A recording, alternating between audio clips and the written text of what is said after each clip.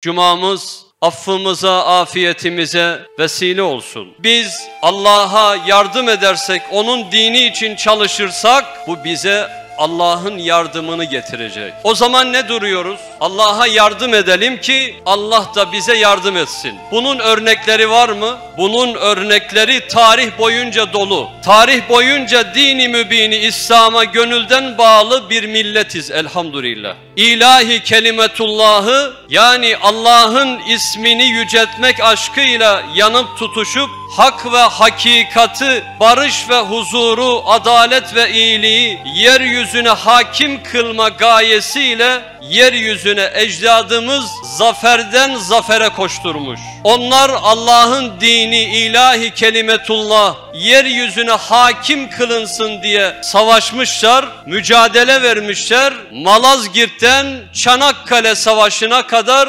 nice cephede savaştıkları halde Allah onları galiple sonuçlandırmış.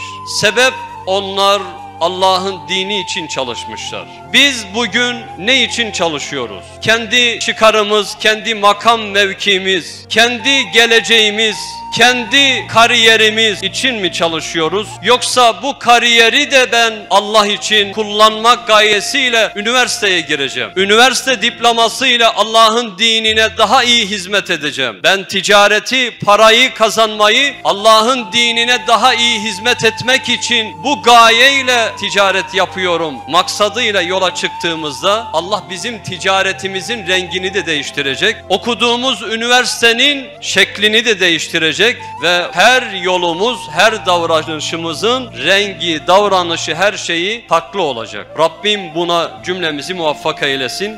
Cumamız mübarek olsun. Allah'ın selamı, rahmeti, bereketi ve mağfireti üzerimize olsun.